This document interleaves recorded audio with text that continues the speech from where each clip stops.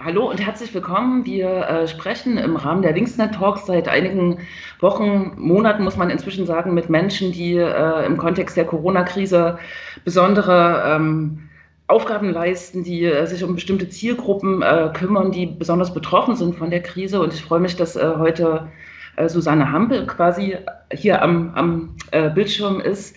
Sie äh, ist aktiv im Verein Belles äh, e.V., aber auch schon ganz, ganz lange aktiv in feministischen Zusammenhängen hier in Leipzig.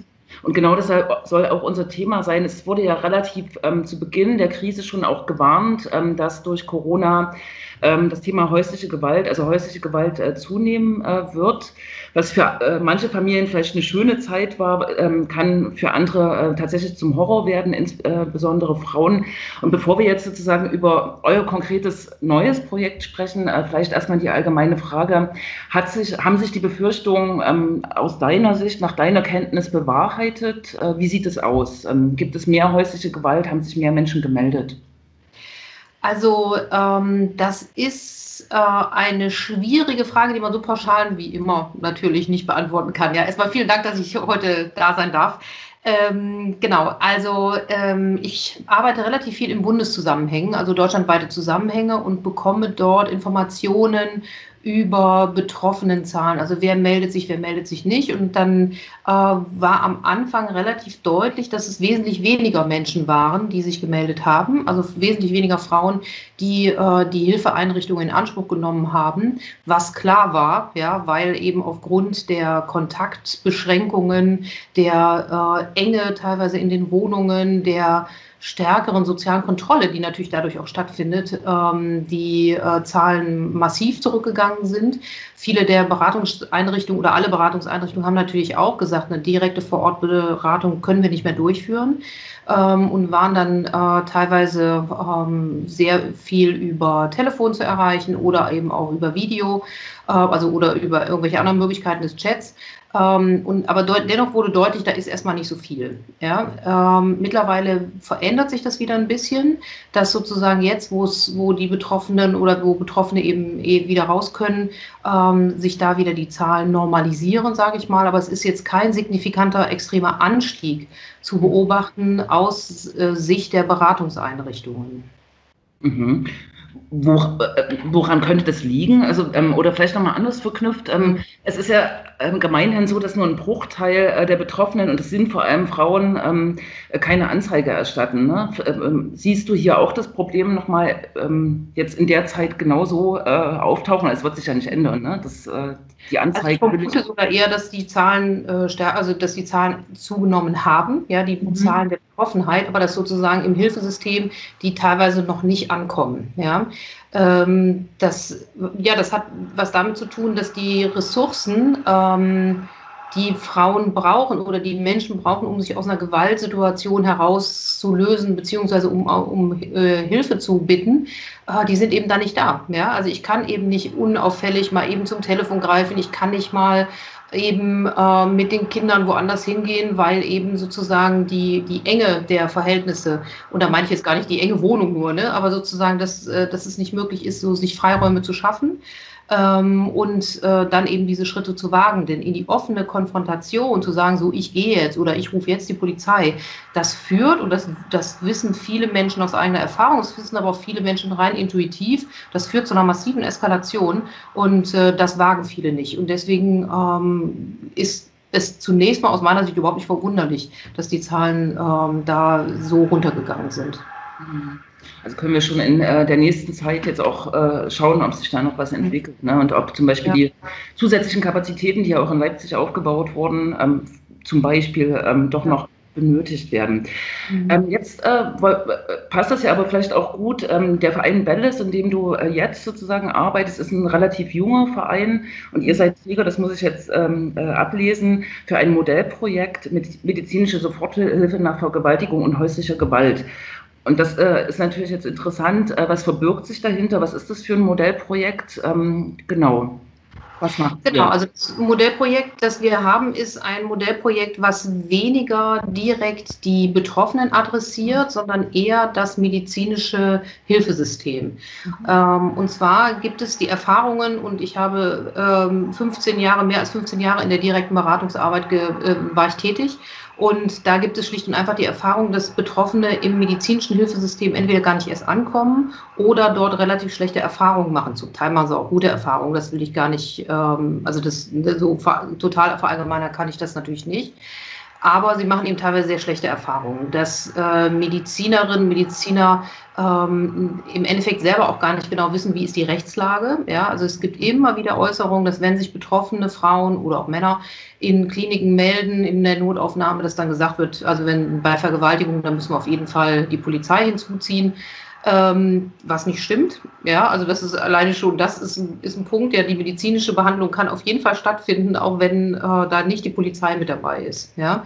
Ähm, es gibt viele Unsicherheiten, weil das natürlich auch, auch in einer Notaufnahme nicht das tägliche ähm, Handwerk ist sozusagen, ne? also Vergewaltigung und auch häusliche Gewalt sind jetzt nicht, die fallen jetzt nicht ständig in Massen, ähm, kommen die zu den Notaufnahmen, die betroffenen Leute, sodass da wenig Routine ist in der, in der Arbeit. Und unser Ansatz bei Bellis ist, ähm, sozusagen ein, ein, ähm, die Mediziner, Medizinerinnen zu schulen und zwar kontinuierlich zu schulen, also immer wieder, damit sozusagen auch die Fluktuation in den Krankenhäusern entsprechend ähm, aufgefangen wird und ein äh, standardisiertes Vorgehen zu etablieren in möglichst vielen medizinischen Einrichtungen ähm, der Untersuchung, aber auch der Befunddokumentation. Ja, also dass sozusagen Betroffene die Möglichkeit bekommen, ähm, eine die ihre Spuren sichern zu lassen, die Verletzungen äh, dokumentieren zu lassen, damit sie dann, falls sie nach einer gewissen Phase der Erholung zu der Entscheidung kommen, ich möchte jetzt doch eine Anzeige machen, dass die Spuren dann da sind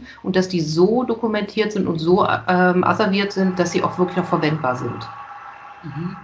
Genau. Ähm Du, du, sprichst es an, es gibt, glaube ich, seit äh, letztem Jahr in, in, Bezug auf diese äh, Spurendokumentation eine neue ähm, Gesetzeslage. Ne? Vielleicht kannst mhm. du das nochmal erklären, was das Problem war und was vielleicht jetzt anders werden könnte. Genau. Also das Lustige ist, es ist sozusagen das Masernschutzgesetz, über das wir jetzt gerade reden, sozusagen. Ja, dieses, äh, es gibt eine, einen Gesetzes, äh, eine Gesetzesentscheidung oder es gibt ein Gesetz, ich sag mal so, ähm, das quasi angehängt wurde als fachfremdes Anhängsel an das Masernschutzgesetz, sodass, wenn ich jetzt vom Masernschutzgesetz rede, wir über die vertrauliche Spurensicherung reden. Ja? Ähm, die vertrauliche Spurensicherung ist da geregelt worden, und zwar die Finanzierung der vertraulichen Spurensicherung, weil die bisher überhaupt nicht geklärt war. Ja? Ähm, das heißt, man konnte die vertrauliche Spurensicherung machen lassen, aber nur, wenn das Krankenhaus sozusagen so nett war, ich sage es mal, ne, so nett war und es gemacht hat oder es halt bei einer Rechtsmedizin angebunden war. Ähm, und die, der Versuch jetzt durch dieses Gesetz ist, die vertrauliche Spurensicherung für alle zugänglich zu machen, indem man sagt, die ist finanziert und es ist quasi eine, im Endeffekt eine Kassenleistung, ja, die Betroffene in Anspruch nehmen können, ähm, sodass ähm, das organisiert ist und es Medizinern, Medizinerinnen und den entsprechenden Einrichtungen leichter fallen sollte, das dann auch zu machen. Ja? Und äh, jetzt geht es sozusagen darum zu gucken, ähm, wie kann das in den einzelnen Bundesländern umgesetzt werden. Das heißt, wir haben jetzt das Bundesgesetz und jetzt muss es auf die Landesebenen runtergebrochen werden sozusagen. Und da gibt es jetzt in den ganzen Bundesländern Verhandlungen, ähm, wie das auszugestalten ist. Mhm. Wenn ich es richtig verstanden hab, äh, habe, ähm, gibt es von deiner, von eurer Seite aber Kritik sozusagen auch an der ähm, neuen Gesetzgebung. Ne? Mhm. Es ist ein Schritt nach vorne, kann man sagen, aber. Also es ist auf jeden Fall ein gewaltiger Schritt nach vorne, weil, ähm, also wir sagen immer, das ist das Spahn-Gesetz, ja, weil Herr Spahn da schon äh, ein ganzes Stück nach vorne geprescht ist. Ja, der hat einfach gesagt, wir regeln das jetzt, wir finanzieren das jetzt, ähm, aber es sind eben teilweise Elemente nicht finanziert. Ja, also ähm, das ist jetzt ein bisschen klein-klein, wenn ich das jetzt, das ist erörtere, aber es gibt sozusagen Bereiche, die sind finanziert und manche Bereiche sind nicht finanziert. Und aus Sicht der betroffenen Frauen und Männer macht es keinen Sinn, das nicht zu finanzieren, ja, weil sozusagen es eigentlich eine Komplettleistung sein muss. Ähm, und da sind wir jetzt sozusagen auf Landesebene gerade dabei zu versuchen, dass wir das als Komplettpaket hinkriegen. Und ich habe den Eindruck, das sieht eigentlich ganz gut aus. Ja? Ähm, und äh, was ich im Moment auf Landesebene gut finde, auch in mehreren anderen Bundesländern ist es auch so, dass das eben jetzt nicht nur wieder ein Ressort ist, was sich darum kümmert, sondern dass eben selbst bei dieser Gesetzgebung es darum geht, mehrere aktive oder so Akteure äh, Akteurinnen an einen Tisch zu kriegen, die dann gemeinsam überlegen, was könnte sinnvoll sein. Und von daher ist es schon innovativ, was da gerade passiert, finde ich. Ähm, ja, und ich bin mal gespannt, was dabei rauskommt. Mhm. Ähm, euer Modellprojekt äh, läuft jetzt äh, drei Jahre für, den, äh, für, den, für das Gebiet der Polizeidirektion Leipzig, finanziert vom Sozialministerium. Äh, was, oder jetzt nicht mehr. Ja, es ist jetzt übers, ähm, es wird übers ähm, im Endeffekt Justizministerium über Gleichstellung. Ja, das ist ja da jetzt dran gehängt. Genau. genau. Was äh, erwartet ihr vielleicht äh, von, von dieser Projektlaufzeit?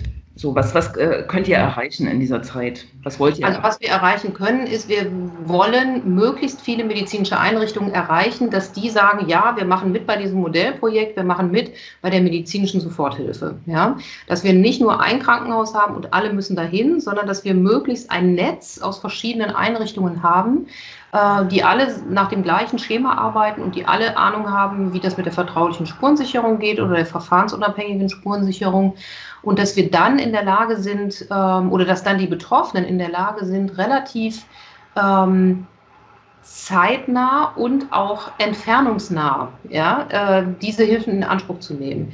Wir erhoffen uns, äh, also wir haben eine ganze Reihe von äh, Ressourcen, um eine entsprechende Öffentlichkeitsarbeit auch zu machen für, zum Thema Vergewaltigung und häusliche Gewalt.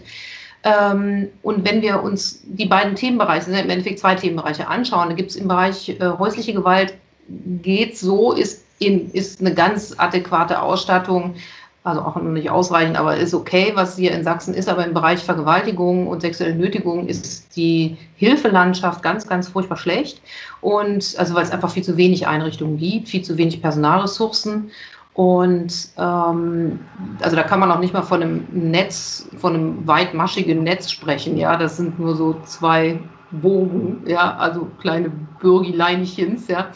Ähm, und was mir sozusagen ganz wichtig ist, ist deutlich zu machen, die, der Bedarf ist wesentlich höher. Ja, wir brauchen viel mehr Beratungsangebote, fachspezifische Beratungsangebote für Betroffene, weil wir die Erfahrung gemacht haben beim Bereich häusliche Gewalt, dann, wenn die Beratungsangebote oder die, die Ansprache auch da ist, ja, dass dann die Menschen sich auch melden, dass die dann auch kommen, ja.